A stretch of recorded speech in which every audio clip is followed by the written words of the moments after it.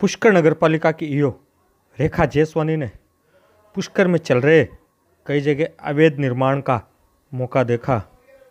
मौका देखकर रेखा जेसवानी ने तुरंत ही उन्हें नोटिस देकर पाबंद करने की कार्रवाई की। साथ ही रेखा जेसवानी ने बताया कि तीनों संपत्तियों को सीज किया जाएगा, क्योंकि इन्हें बार बार नोटिस देने के बाद भी निर्माण कार्य होना पाया गया। नगर पालिका की ईओ रेखा जेसवानी ने बताया कि डॉक्टर बाग एवं पुलिया के पीछे तथा एक होटल में निर्माण चल रहा था। इन्हें कई बार पाबंद करके सूचना दी गई।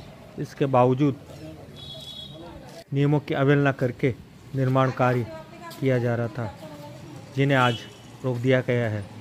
आगे नोटिस देकर सीज की कार्रवाई की जाएगी। दिनेश पारासर ब्रह्म पुष्कर न्यूज़।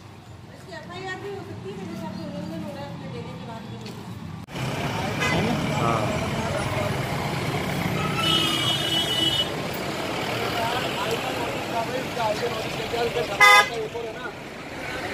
सकती